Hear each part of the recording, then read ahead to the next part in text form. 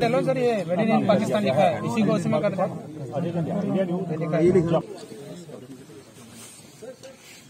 पहले मैं प्रेस के सभी बंधुओं को बीएसएफ की तरफ़ से नए साल की बहुत बहुत मुबारकबाद देता हूँ।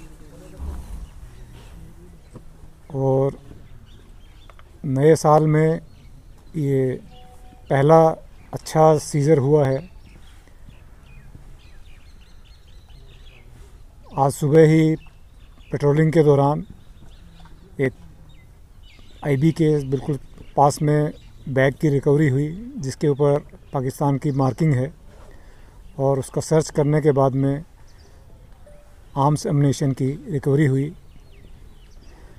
पिछले कुछ दिन से काफ़ी इनपुट्स हमारे पास थे कि सीमा पार से कोशिश की जा रही है घुसपैठ की या आर्म्स एमनेशन की सप्लाई की और ट्रूप्स को उसी स्तर पर हमने अलर्ट पर रखा हुआ था और सभी कमांडर्स और ट्रूप्स बॉर्डर पर बिल्कुल तैनात निगाहें गड़ाकर ड्यूटी कर रहे थे।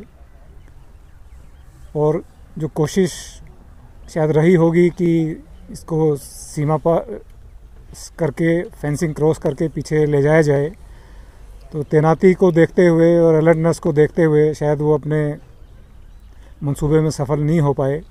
और क्योंकि इसी रात को एक घुसपैठिए को भी बीएसएफ ने मार गिराया है तो मुझे लगता है कि उसी कारण से वो बैग को छोड़कर पीछे भागे होंगे। और अभी 26 जनवरी नज़दीक है गणतंत्र दिवस तो उसके मौके पर भी ये काफ़ी एक्टिविटी बढ़ी हुई हैं और उसी कड़ी में हमारा अनुमान है कि ये भी प्रयास सीमा पार से हुआ है और मैं अपने बीएसएफ के कमांडर्स और जवानों को बहुत बधाई देता हूँ कि पूरी अलर्टनेस और मुस्तैदी से ड्यूटी करते हुए ये बहुत अच्छी रिकवरी की है। नहीं पिछले कुछ दिनों से इनपुट्स हमें मिल रहे थे कि पाकिस्तान की तरफ़ हलचल है। कुछ ग्रुप्स में तीन चार जगह पर मिलिटेंट्स की हरकत देखी गई है और उनका प्रयास है कि किसी तरह से घुसपैठ की जाए। तो ये पिछले करीब पंद्रह दिन से या उससे कुछ पहले से इनपुट्स हमारे पास आने शुरू हो गए थे और उसी हिसाब से हमने तैनाती बढ़ाई हुई थी। बॉर्डर के ऊपर नफरी भी बढ़ाई हुई थी।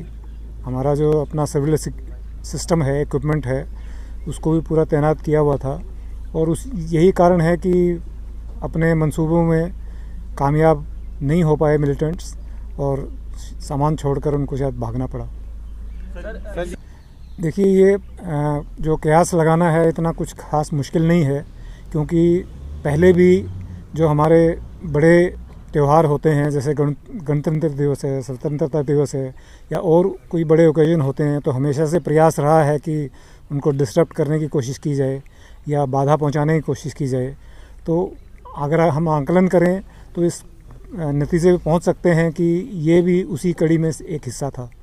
सर, जिस तरह से स्पेसिफिक नंबर तो बताना संभव नहीं है, लेकिन हमें जो इनपुट थे, करीब तीन चार ग्रुप के इनपुट थे अलग अलग जगह पे कि वो प्रयासरत हैं। और जो कोहरे की सिचुएशन है या स्थिति है, उसको देखते हुए हमने पहले से ही अपनी तैनाती में वो चीज़ें शामिल की हुई थी कि अगर इस तरह का प्रयास होता है तो हम ज़रूर विफल करेंगे। और ये रात की बीती घटना और ये दोनों घटना बताती हैं कि उन्होंने दो प्रयास किए और दोनों के दोनों विफल एक ही रात में हमने किए हैं।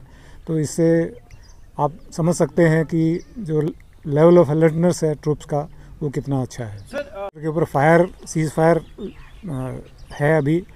दोनों तरफ़ से फायरिंग नहीं हो रही है। लेकिन इस प्रकार की घटनाएँ तो लगातार जारी रही हैं और इसमें सीज फायर था। तब भी कोई गिरावट नहीं थी ज़्यादा। जब सीज फायर नहीं था, तब भी कोई गिरावट ज़्यादा नहीं थी तो ये प्रयास तो सतत पाकिस्तान की तरफ़ से चलता रहा है।